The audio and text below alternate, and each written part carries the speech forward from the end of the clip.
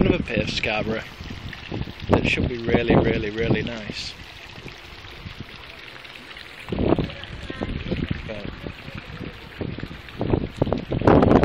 Bottles, rubbish in general, carrier bags. I mean, just look at it. All like plants, the waterfalls, well, the little sprinkly bits.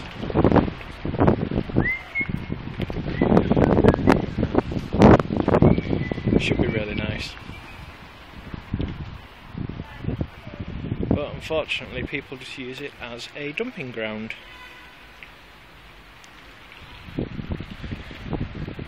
More rubbish there.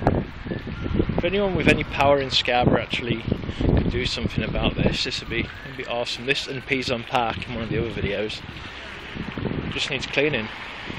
Because people are treating it like a dump and it's worth more than that. That's it.